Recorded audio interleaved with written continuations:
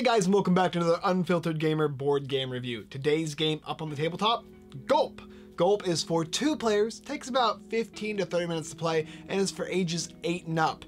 In Gulp, it's a fish eat fish world, and you're going to get one set of tiles that is laid down in a 7x7 grid, and your opponent will get the other set of tiles. There's a light blue and a dark blue. You'll be utilizing your tiles on your turn to move around the board and eat certain types of fish. Now, it doesn't matter which ones you eat, provided that you're the bigger fish, and certain fish have certain rules as to how far they can move, what they can eat, what they cannot eat, but in general, you're just trying to gather as many tiles and as many piles as possible and make sure that your fish is on the top portion of that tile stack. Of course, your opponents can eat larger tile stacks provided that their fish are bigger than yours or they meet certain rules requirements, but nevertheless, once nobody can move anymore, you're going to tally up the score of the game and whoever has the most tiles in their tile stacks altogether is the winner of the game.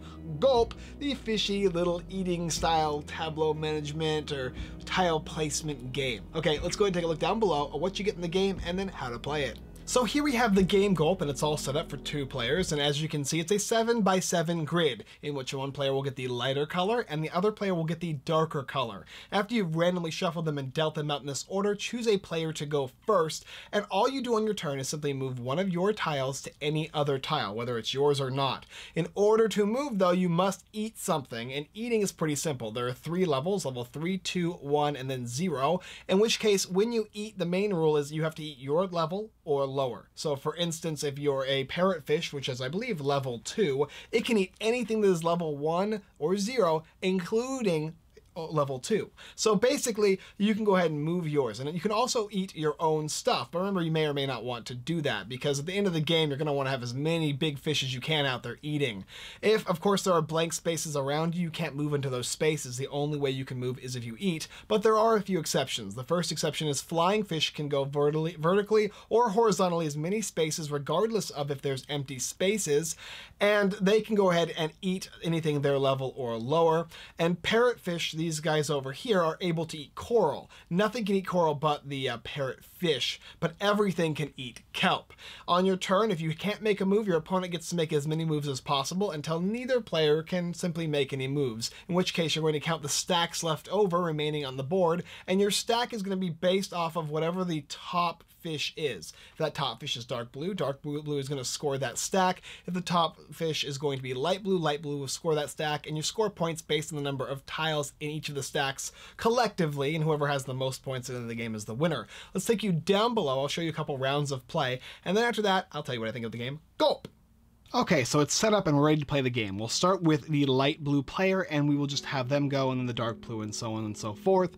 And just to give you an idea of how the game plays in this specific scenario, in which of course it's always going to be different every single time you play it as far as how the board looks, but for the most part the game plays the same. Now to begin, we'll go ahead and start with light blue and he can simply move one space, either up, down, left, or right. You cannot move vertically, so you can't you can't do this. So I can go ahead and go there because this is a level one, and this is also a level one. So it's basically eating that level one, making the stack a little bigger, and this is now light blue stack.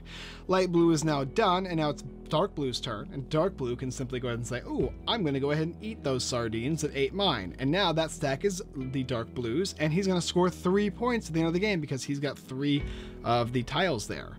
Now back to the light blue once again. Light blue notices that uh, things are happening that are not in his favor, so he's going to start moving his shark over, and that is going to score him two points at the end of the game, hopefully, if all works out. And now once again we'll move on. The dark blue is going to go over here and eat these sardines. Eating, of course, your own isn't a bad idea or a bad option, but it's probably always better to eat your opponent's stuff. Uh, you see this flying fish here? This is a rule breaker, for instance, uh, which I will show you in a second, but we'll first go ahead and have this guy just go ahead and eat here. And now we're going to go take you to the dark blue. This guy can actually go across empty spaces where normally you couldn't do this, but in this case you can, and it has to be, of course, the same level or lower. He can fly across spaces like this, and that is going to score him that point, hopefully, at the end of the game. And we're just going to keep on going just like so. It's pretty simple, pretty straightforward as how it works. Let's go ahead and have this shark come in here and start eating more stuff. And uh, maybe if we want, we can take these guys here and put them here. Now this will actually protect this as long as no flying fish get on them, which is pretty useful. But as you can see, that's basically how the game works. And the game's going to basically continue this way as players start scoring things. Remember, parrotfish can also eat these. Nothing else can eat these, but the parrotfish can. is a pretty useful aspect. Uh, this guy probably wants to go here. He can you can choose to leave him alone and move this one instead now because he's eating his own, which is kind of dangerous, but we'll go ahead and fly with it for now. And uh, this parrotfish is just going to keep going and so on and so forth. And as you can see, that's basically how the game works. The only exceptions, like I said previously, is the flying fish can move across the board in empty spaces provided he can eat, and uh, the shark can pretty much eat anything it wants other than coral, which can only be eaten by these fish here. Eventually, at the end of the game, we'll just go ahead and give you an idea of what the end of a game was going to look like. Uh, something maybe like this. We'll move around a couple things here and uh, try and try and follow it e as it should be done. And boop boop boop boop boop.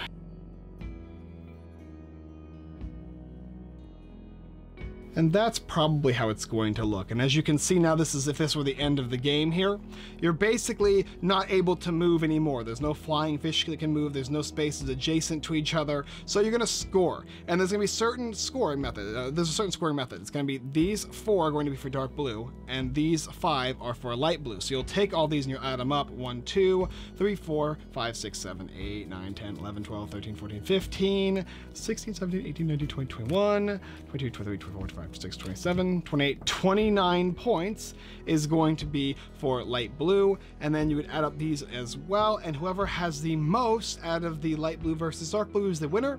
And uh, if you want to play again, just simply shuffle them all up, face down, flip them all, uh, and then flip them all over and start a new game of Gulp. Okay, I think you get the idea of how it works. Let's come up and talk about it. So what do I think about Gulp and it's a fish eat fish world? Well, first of all, it's a two player game. For those of you not interested in two player games, probably not for you. Additionally, it's got a fish theme, and I love fish. I love fishing themes. One of my favorite themes that I don't really often see in games, so that's a big plus. The game is also an abstract strategy game. Of course, you're going to be moving back and forth, two players, in a battle of wills and a battle of wits as to who's going to move what piece first and in what way, blocking other characters or fish out of reach from other fish. And there's going to be a lot of decision making in this game. The 7x7 grid that is constantly changing every game is definitely going to give you quite a bit of replayability, but it's still going to be the same game each time you play it. There's no new rules or variations to the game. It's a simple abstract game in which you're moving. Three is equal to three, and three also can eat anything under that, but ones can't eat twos, so on and so forth, as well as a couple interesting rules. The, the, the flying fish can fly across the board, which is actually rather interesting and unique, and does come in handy on certain occasions. And then, of course, the parrotfish eating the coral. Those things usually are blockers, but when you can utilize your parrotfish to get through, that might help your even bigger fish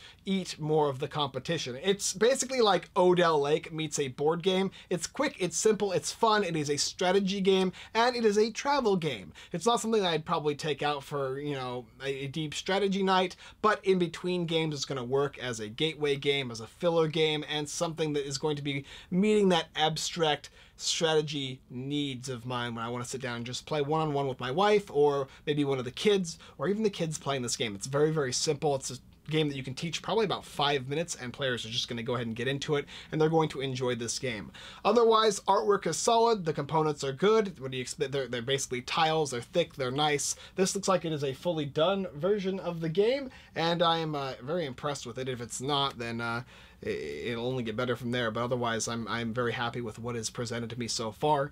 It's a really enjoyable game. Those of you who are interested in two-player strategy slash abstract games are going to dig this little title. Just don't expect it to go anywhere more than what I'm explaining as it is right now. This is what the game is. If you like the sound of it, you're going to enjoy this game. Go ahead and take a look down below to take a look at Gulp, and if that interests you, go ahead and choose to back it on Kickstarter starting, I believe, today. But if it's not today, that means it was yesterday or at some time in the past because I'm, I'm uploading this on, on the day of the campaign. I, I, I, think you get that. Okay, anyway, thanks for watching. Take a look down below and outro. All right, guys, thanks for watching another Unfiltered Gamer board game review. If you like this game, go ahead and check out it down below in the description below, currently on Kickstarter.